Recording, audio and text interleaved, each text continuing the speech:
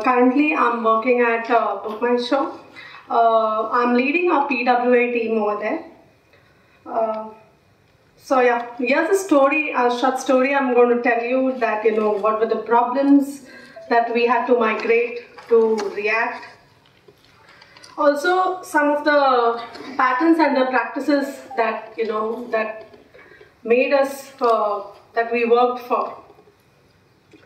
So uh, back in 2014, this is what I felt for you know, most of the websites.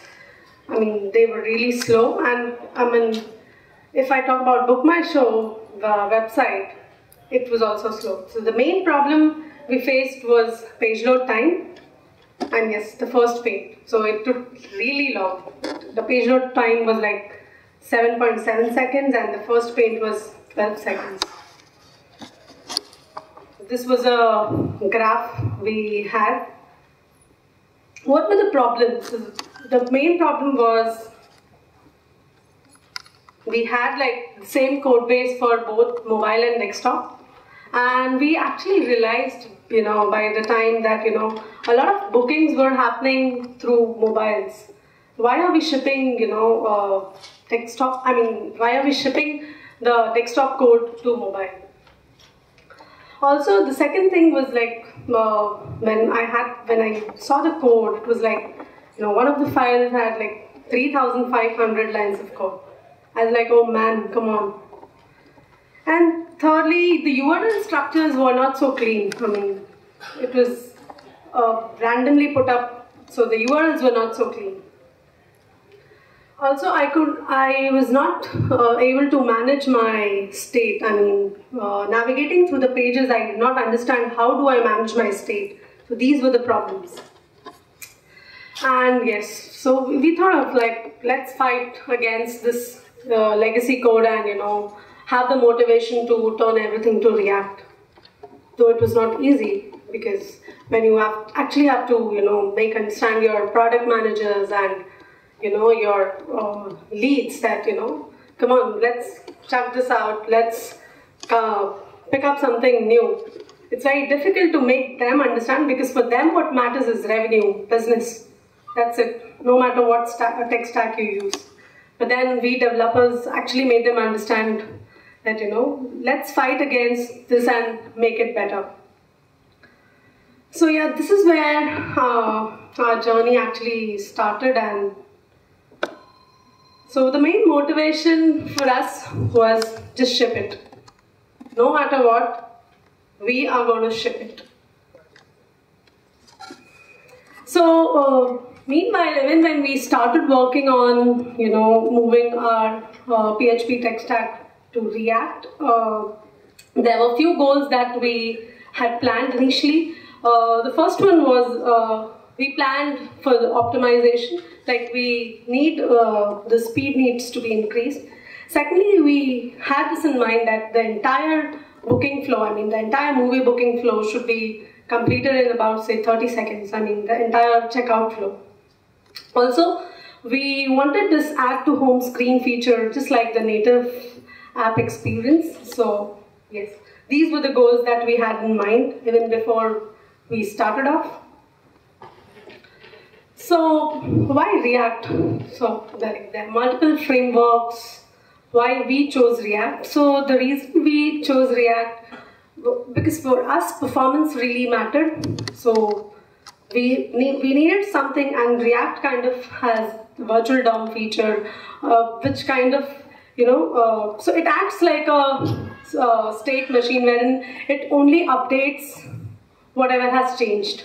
So your entire DOM, the re-render part is just taken care of by the uh, DOM. Whereas in you know uh, you, when you're actually updating the DOM and playing with the real DOM, it creates a lot of problem. So this is the reason we chose React because we, we wanted a tremendous increase in our performance. Secondly, what React gives you is it kind of enables you to declaratively describe your user interface and the model. So you need not track the entire state changes. I mean, whatever you're changing in your UI, whatever you're updating, you, React takes care of uh, updating and triggering the re-renders to your DOM automatically. So you need not worry about all that. And trust me, like PHP didn't give us all this. The first thing is I, I would say that you know it was it was a comp component driven. So uh, in PHP I would uh, write a code say you know if if I had to write a seat layout if I had to design my seat layout page I would actually so I, I actually saw that there were no tons of uh, code which were repeated. I mean just by sense. I don't know why. But then uh, when we chose React, it was it kind of uh, was very useful to us because it behaved like you know a plug and play thing, wherein you know a component. If I've created a component once, I can use it at multiple places. So composable, reusable, and yes, testable, which we'll be talking later, was was was the best thing that React could provide. So if you see uh, both of these cards, like you know, on the left hand side and right hand side, one of them is a movie card and one of them is an event card. So we did not actually go and build, uh, you know, two of them separately. We just had a pure, you know, a supercard component, wherein by changing the props, you know, I could actually make sure that, you know, okay, fine. If uh, I'm passing something like, say, events, I would actually see the events card and if I'm passing something for movies, I would see movies. So I actually didn't go and, you know, uh, I had to write two separate codes. So this is where React come, comes into picture and you, you actually, your work becomes simple. You are not repeating your code. As a developer, I think this is, this is what you should be thinking about. So th this is this was a code uh, for supercard component wherein you know so you actually see that uh, you're passing the props and the label and I mean nothing changes. So whether it is event card or whether it is movie card, it doesn't really matter. Uh, uh, next one was again the show times. So you see uh, we have one show times, show times per year and second one year. Again, this is a component. So we had this component and based on the props and whatever style, I mean whatever props I'm passing as a style, it, it got rendered. I mean, I'm not just going and creating the other, uh, I mean, other code in my application. So it, it is so plug and play and it is so re reusable that you just go and change your props and you can use it in different variations of your pages. The second thing was uh, there was no direct manipulation with the DOM. So if you see uh, when you direct directly access your DOM, it demands like high performance and you should be ready for it. I mean, it is very expensive. If you're, if you're dealing with your actual DOM, it is very expensive. But then when you're dealing with virtual DOM, it doesn't really matter because your virtual DOM always keeps a track, you know, whatever changes, it will only re-render that part. So that was where React was very good for us. Also, the rendering speed, since I told that it was not a manipulation with the direct DOM, it was always the virtual DOM which was into picture and always the changes, uh, so wherever your state changes, only that part will be re-rendered. So the rendering speed was much, much higher than, you know, if I compare it to PHP. Also, uh, it was it, since React is a view layer, you kind of you uh, can use it with any of the frameworks. I mean, uh, you can use it with, say, you can actually use it with PHP as well. You can use it with any framework. So it kind of just gave you a view layer for any of the frameworks that you wanted to use in your application. So that is where we wanted to use and try it. So yeah, well, we spoke about uh, React a lot now. So we, when we migrated, we thought of you know also a lot of companies were actually we had actually started using Redux, and uh, we actually had no time to see whether we should be using Redux with React. So just so we chose uh, Redux because we actually wanted something called a store at our uh, application level But then we actually didn't make a choice whether to go for Flux, whether to go for Redux. We just went because there was companies who were actually using React Redux architecture and so that so also we also went with that. But then later while we we did knew what were the advantages of using Redux, but we didn't make the personal choice of actually choosing what to go for. So uh, uh, Redux kind of gives you a state management, whereas wherein it has a central store for your application, and you know you need not worry about whatever whatever changes you're making. So whatever whenever your state changes, it's being communicated to your store, and you have a single store. So uh, it matters whether you're using a Flux architecture or you're using a you know Redux because uh, Flux doesn't support the single store uh, thing and yes Redux does. It, it has a single store and it kind of gives you uh, access to whatever whatever state changes is happening accordingly your DOM updates. Also, the predictable state updates uh, is much like you know you're using uh, uh, you're using to uh, try and you know you're testing it in a much uh, predictable way as in you're not depending on any of the uh, other models or other uh, databases. Uh, also, uh, when you use the Redux architecture, you kind of also see that you know you're using uh, pure reducer, reducer functions. I would not go much deeper into it. You can have a look at the link and know about what Redux architecture actually is and why we actually use pure reducer functions for it. So this is just an example wherein uh, I'm using pure reducer functions. So uh, pure means you know any input given and output you cannot manipulate your function. So a function will simply give you the output as it is. I mean there will be no mutation in it. So if you see uh, all of the, you know, the reducers, whatever I'm returning is just the pure functions that I'm returning. Third, uh, the Redux thing also kind of gave us, you know, the time travel debugging, which was so time travel debugging. Uh, there's a Redux DevTools which kind of gives you access to, you know, it fetch, it has all your uh, dispatched actions and all your stores. It can you can actually go and inspect and see you know what has happened. So you see you know uh, if you actually made uh, changes to your reducers and it says okay you know something is not. So you actually can inspect just like you do in the browser, right? The JavaScript developers are uh, familiar to the dev to Chrome DevTools. So in the same way, you can actually see what what is happening. I mean, the, it, it gives you an entire bunch of things where you can inspect each and every actions that you have dispatched or you know what is happening in your store. So for the migration process, for us, uh, initially when we started was we didn't really know that you know how should we uh, start with a boilerplate or something like that. What we did was we know that we uh, you know we want to use React and Redux so we started uh, building, uh, you know, React components on CodePen. That is how we started, and uh, yes, I we did start like that uh, because we didn't really had uh, things in mind, you know, that you know this should be the architecture or something like that, the boilerplates and stuff.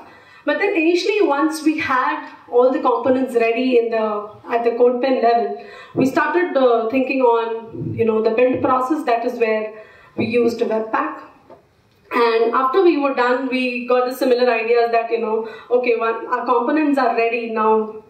Let's just uh, try stitching them to our code base. And that's where we decided the uh, architecture. And it went on like for five months. So first, uh, when we started off, uh, we started off with website. I mean, uh, even before, uh, I mean, we chose to build our mobile website, uh, the PWA, we thought of giving it a shot on website. Let's build, you know, one of the listings in uh, React, wherein we actually failed. Uh, this is because uh, there was no server-side rendering. We faced a lot of issue for SEO. So again, we just reverted it back. And we started off with our mobile website. That is a fresh thing uh, where we started with, so there was no PHP hindrance uh, with our code because When you say you reverted it back, you mean that you actually deployed it? I'm sorry, you'll get question time. Can't interrupt. Okay, so I'll answer you back. Uh, so yeah, so this is uh, where we started building our mobile website, and uh, yes, uh, we reverted it back. Uh, means that we shifted it back to the PHP tech stack because the we couldn't afford the SEO problems. After all, it's business. And yes, so even when you try to, so this was one of the problems that we faced while we were using, uh, we did it on website. If you try and use your React router with your PHP view, you'll always face a problem. And yes, that, that, that is where we also faced few problems and but finally we could resolve it. But then yes, ultimately our goal was the mobile website since the analytics data straight away proved us that you know all of your bookings are done through mobiles. And yes, we went page by page. Uh, we went for movie listing, show times, the seat layout. You see was the very difficult job for us because it involved a lot of things like D3. We had to see how we could use the D3 thing in React.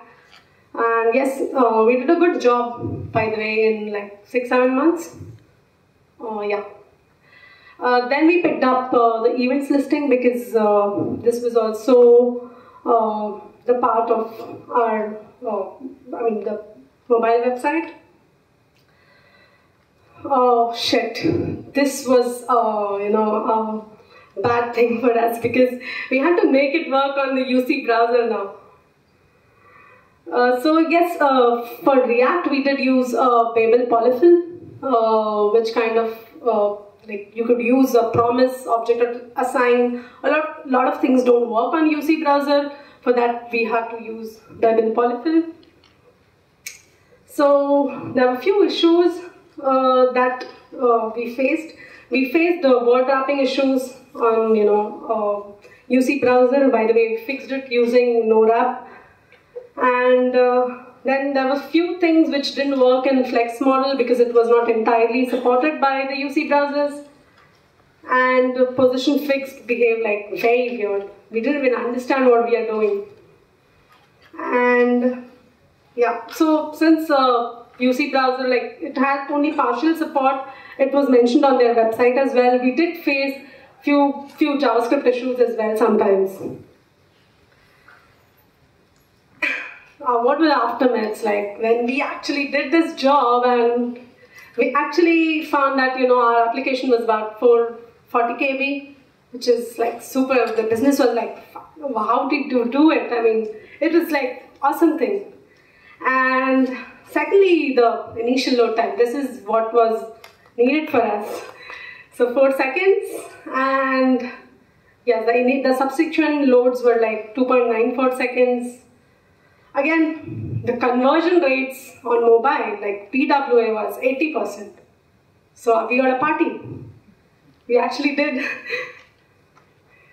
and yeah, the first paint like went on uh, from 12 seconds, like not 12 seconds also, like from 13 seconds to 8 seconds. And then this was like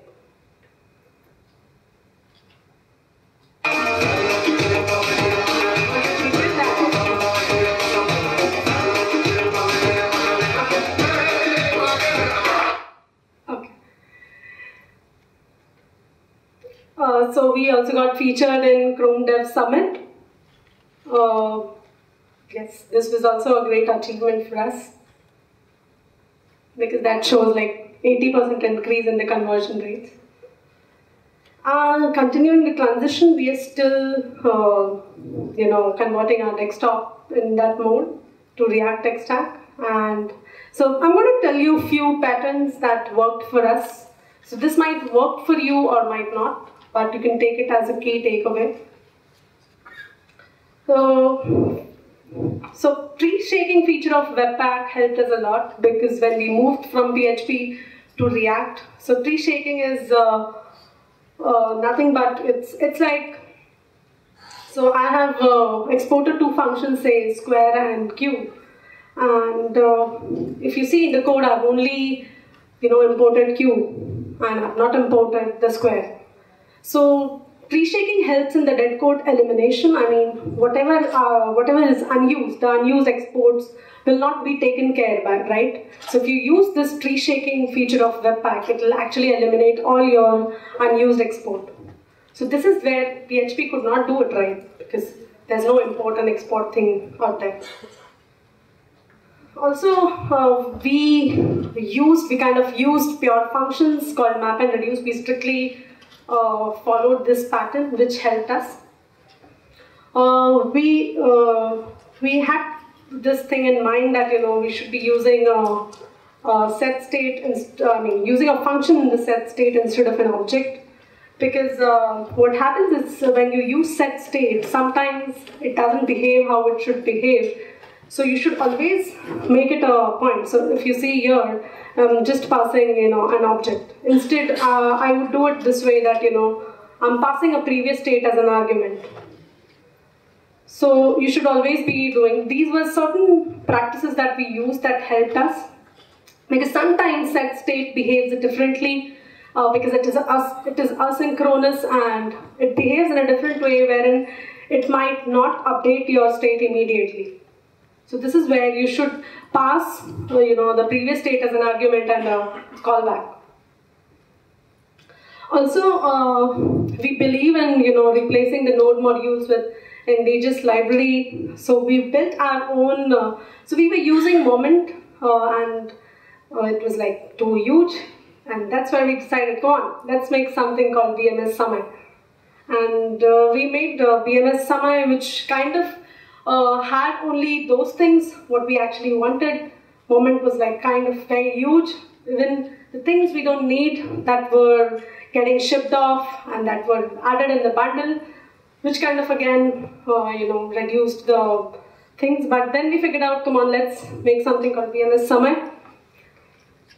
Uh, it has downloads though. Uh, it has like 4994 downloads so far, and we started this I think uh, last year.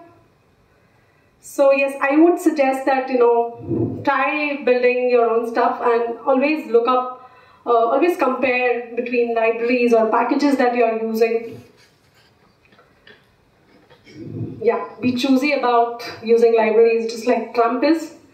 Uh, because uh, I would say you would have different uh, libraries, different packages, but then experimenting around them will ultimately give you, you know, a satisfaction to your product. It will increase the page load speed. It will improve your product. So, few things that we chose. We chose timm over immutable. Uh, I will be going through what is timm. We chose Redux Zero over Redux.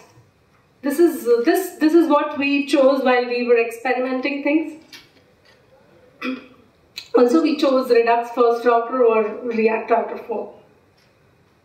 So timm, uh, again, uh, I think a uh, few weeks back we even removed timm.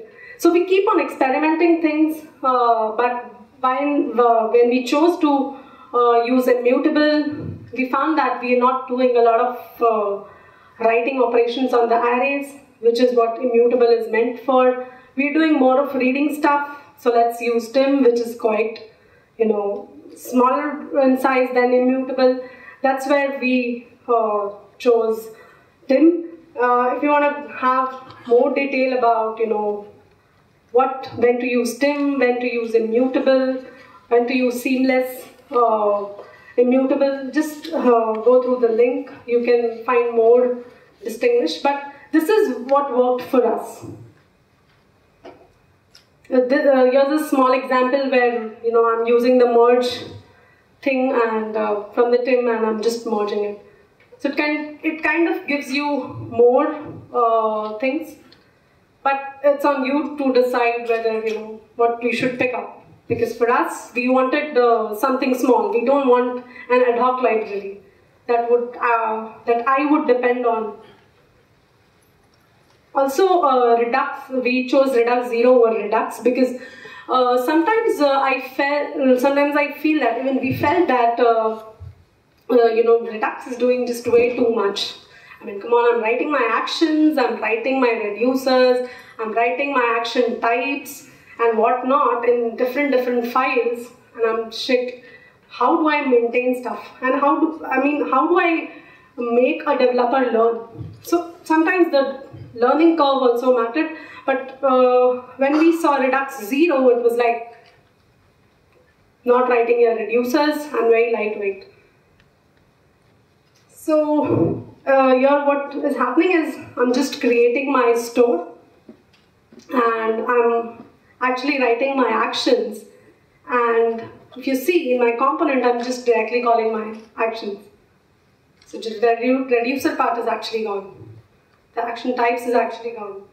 My state changes is directly being done by from my actions. I mean I don't need to do all that stuff because sometimes it kind of when you start making, you know, when you start from scratch or learning, the learning curve is actually very steep for Redux. You need to actually understand how it works when you're actually using Redux. But for us, I think Redux Zero worked well. Also, uh, Redux first router. So initially we started with uh, React Router 4, but uh, then what we felt is, you know, we are actually instead of writing React application, I, am writing the React Router application. That's what I felt. So the reason uh, we chose Redux first router was so if you see React Router 4, uh, it deals with the history API and you know updates the changes to your view and your store. Now your state is just unknown to what URLs you're using. I mean, there's no, and the term that you say that, you know, Redux is a single source of truth is just gone. Because your store is not aware what is happening, right? At the URLs level, it is just not aware. So here I say, okay, you know, the router thing is, uh, the single source of truth for router is React router and my for my store is Redux but that part is already gone. I have like two single source of truth. So that is where we chose Redux first router because uh, there were a lot of problems also with the React router. If you see, it's also mentioned on the docs that you know uh, you can use React, React router, but you know Redux will be the source of truth for your data, and the React router will be the source of truth for your URLs. Because all your store thing will not be known to the URL. The other problems were uh, update blocking and no deep integrations. Uh, this means that uh, you couldn't actually know what is actually happening. You know, the state, any, uh, any uh, store would not come to know about your URLs at all. So there were a lot of uh, solutions for it, like you see there was React Router Redux. A lot of solutions uh, were given by the communities i mean all set up uh, you see on the screen. But uh, we chose Redux First Router because this is where we actually got what we needed. We actually could see that, so this uh, Redux First Router does not think in terms of components, it uh, thinks in terms of state application like whether your state application knows about your URLs or not. So here my URLs would directly, you know, communicate with the actions and so uh, does the state. So whenever, so any changes to the state, then my URL would know and any changes to the URLs, my state would know. This is what I wanted. So for example, if you see the older approach, uh, if I have a sidebar component wherein I have say two states, uh, say open and close, I would do it this way. Say, uh, you know, so case sidebar closed and sidebar open. and in case of closed it returns me false. This is the older approach how I would do it with reducers. But then how I would do it with Redux first router is I have a set of you know applications. So this is my uh, entire application. I'm just saying that say case home. I actually know that you know uh, in case of settings my uh, sidebar will be open. So I'm not thinking in terms of components. I'm thinking in terms of my state of an application. The state of an application tells me that on the settings page, the sidebar will remain open. Uh, it gave me way too much and yes, we were like this. But then uh, one important point to understand is whenever you're like understanding the architectural decisions behind the tools you're using is perhaps more important than many things a new package does for you. So you need not pick up some of the package or tools just because someone is saying try understand it might uh, i mean it might not suit for your product and vice versa it might suit for your product always keep on experimenting things because when we reached the state we actually had gone through a lot of things like we did try react router 4 we didn't manually say that you know come on i don't to use react router 4 it's is it is it is not nice. It doesn't weigh like that. It doesn't work like that. So you need to decide on things by using it. Also, uh, we built uh, common components. Uh, this was uh, so. This is uh, the common components. So what we believe in the when you're working with the React Redux architecture, components are your power this is what React gives you, right? Why not create, a, so we kind of, we call it a design framework style guide at BookMyShow. So any developer who's working on it and whatever component he is creating or adding will be added to the style guide. So he or she before adding has to look up whether it is there or not. So we kind of have from like counter to checkbox to even event cards, we have all of them and you can actually go there and you know you can edit the code and see like if I need to see the book button and if I actually need to code say you know just make it proceed I just changed that I changed at one place and I import the same thing. I mean I import this component in my code and use it. So this is how we created. So this was like a set of uh, design, I mean, a set of components that we use throughout our application because uh, when your team grows, you would not know, you know, what components you've added. And I think a component should altogether be a separate repo. This is what I feel. And you can always import whatever you need.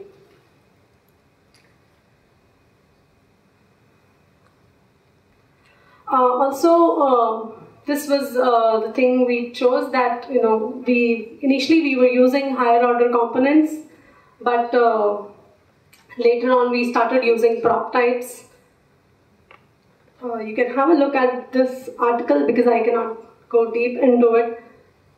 Uh, also, uh, the reason uh, we chose prop types, so prop types is no, nothing in React.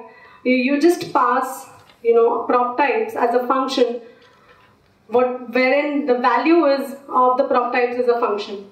So it's nothing new. Uh, it's just the functional way itself, but it is way better than the higher order components wherein you keep passing function. I mean, you keep passing components to another components.